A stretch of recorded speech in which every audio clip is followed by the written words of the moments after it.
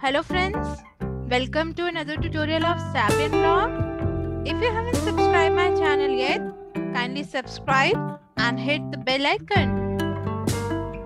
In this video, we'll talk about reactive oxygen species and its concept along with free radicals and antioxidants.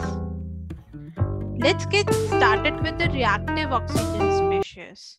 As you can see, reactive oxygen species is related with the splitting of molecular oxygen.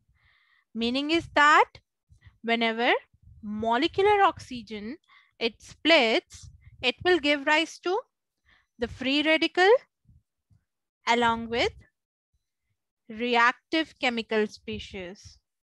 So free radicals are generally the waste of body, living body and reactive chemical species, these are the result of life processes happening inside the living body. Whenever we talk about free radicals, we should know that free radicals are basically waste substance that are produced by cell during various processes.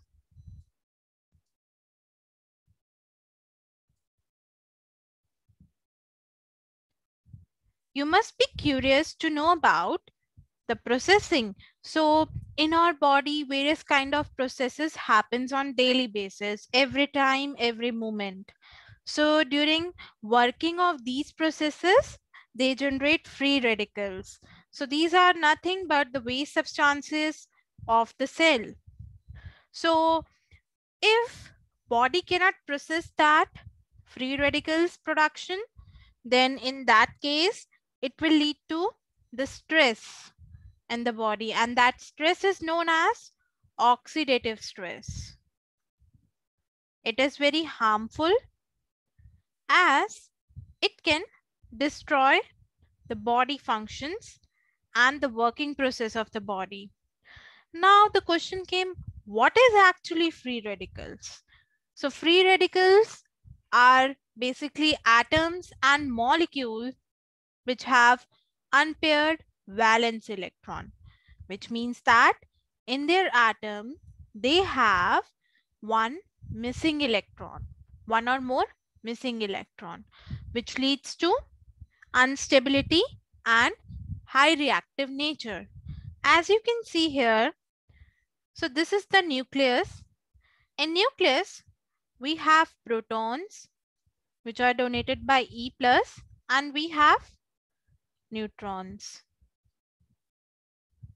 So protons, they get attached with the neutrons so that they can hold the atom together. And in the surrounding orbits, electron revolve. So in the outermost shell, basically eight electrons should be there. So in this case, here you can see seven electrons are present. And here at this position, one electron is lagging. So this will generate the free radical atom. So this atom is highly unstable. That means this is highly reactive and it has more potential to cause damage in the living body. Have a look at this representation. Here you can see free radical and stable molecule.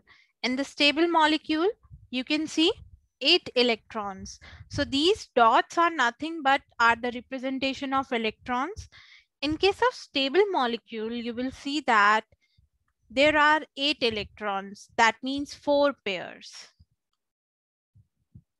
That is why we say that any molecule is stable. But in case of free radical, there must be unpaired electron in the configuration. This will lead to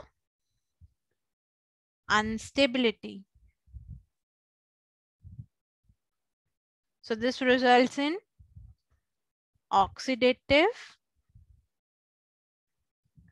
stress in the body.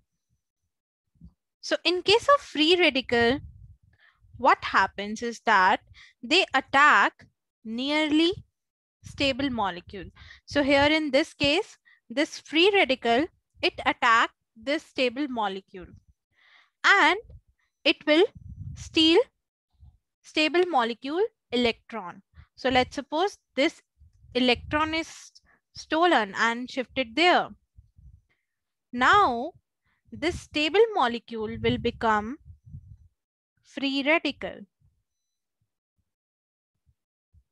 This creates chain reaction. So it will happen like that. Now this is a free radical. It will go near the stable molecule and extract the electron. So hence the chain is created which leads to disruption. Disruption of living cells. So that's how they work.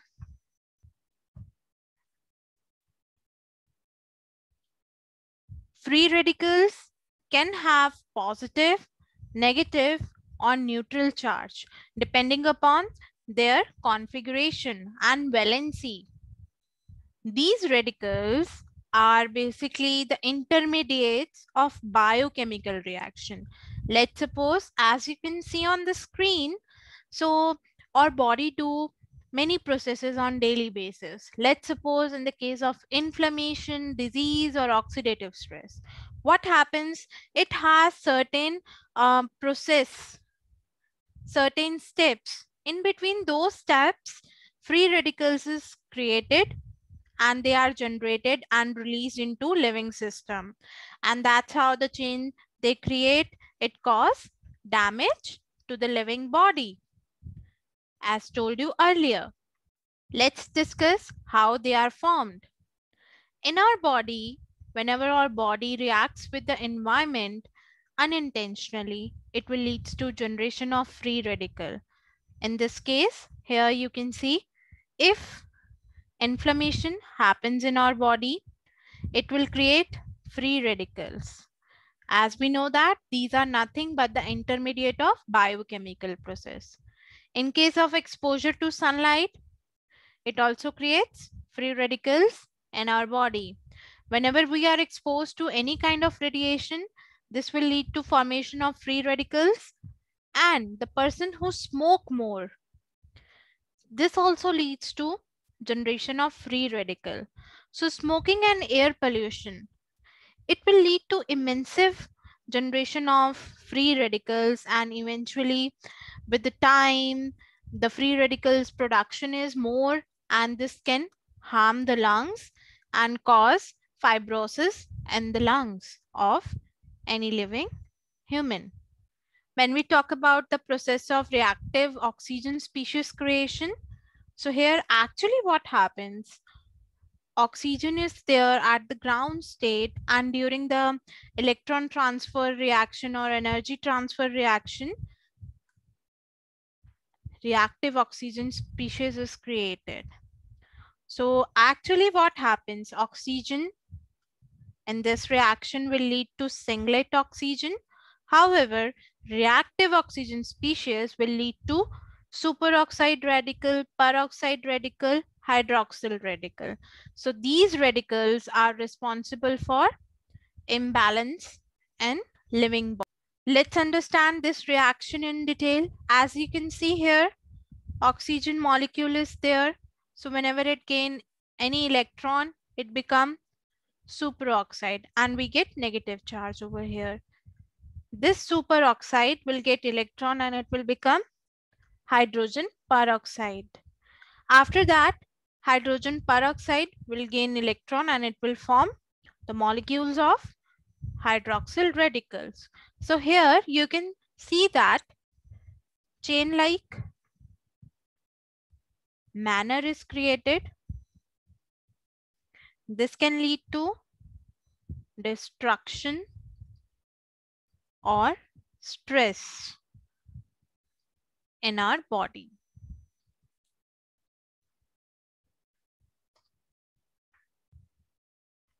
So whenever the stress is high, it will lead to the death of body cells.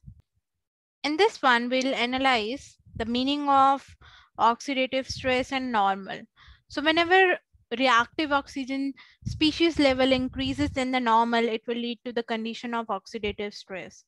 In normal condition, free radicals are produced, but their uh, level is same as antioxidants. Antioxidants are the chemical compound which are necessary for our body functions. Whenever the configuration or we can say the amount is same in the body, this will create normal condition. But when this amount deflected or it fluctuate, it will create imbalance. Especially in the case when uh, the reactive oxygen species level increases.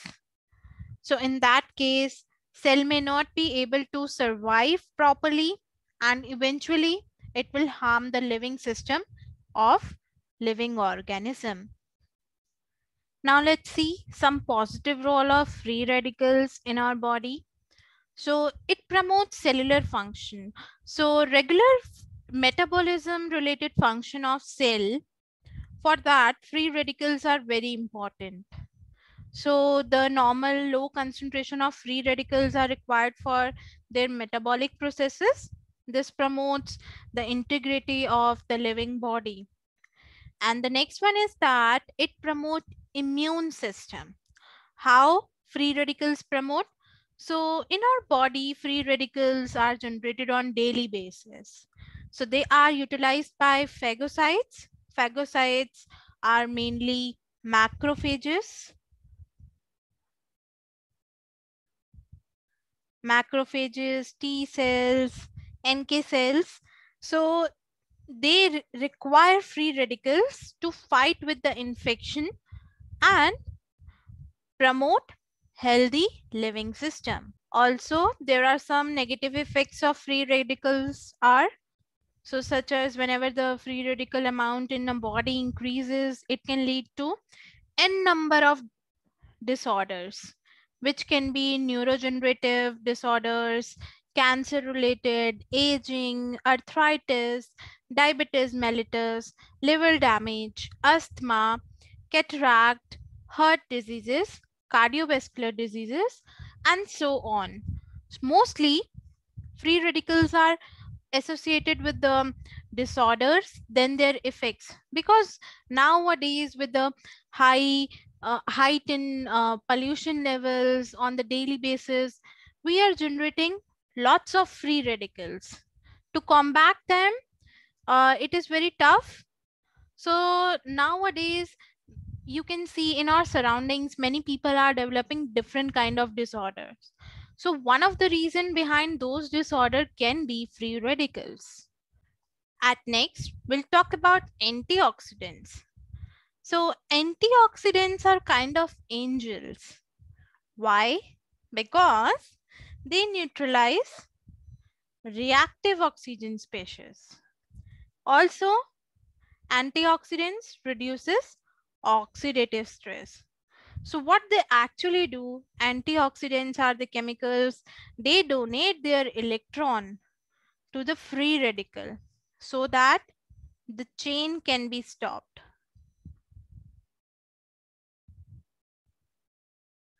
When the chain can be stopped, it means they neutralize the free radicals and they are also known as free radical scavengers because they prevent free radicals to continue their chain. Also, one more fact is that free radicals, they promote aging also. So in the old age people, you will see that skin becomes saggy, they have wrinkles on their body. This is because of the more generation of free radicals when we compare it to the young individuals. So whenever there are more antioxidants in the body, so it can help to fight aging defects. So we can say that antioxidants, they provide anti-aging benefits. Also, They repair the damaged cells, also improve the immune functions of any living body. Let's discuss about the solution to free radicals or reactive oxygen species. When we consume food rich in antioxidants, this can be the best way to combat the free radicals level uh, in our living systems. In antioxidants, basically we can consume these food like dark chocolates, artichokes, green tea, spinach, strawberry, kale, red cabbage, beans, blueberries, and mostly the green vegetables. You must have seen around around you uh, many doctors and di dietitians they used to prescribe green vegetables because it is one of the rich source of antioxidants. And this way we can break the chain of free radical and stay healthy and long lasting ever. Thank you guys for watching this video. If you like it please comment and share it as much as you can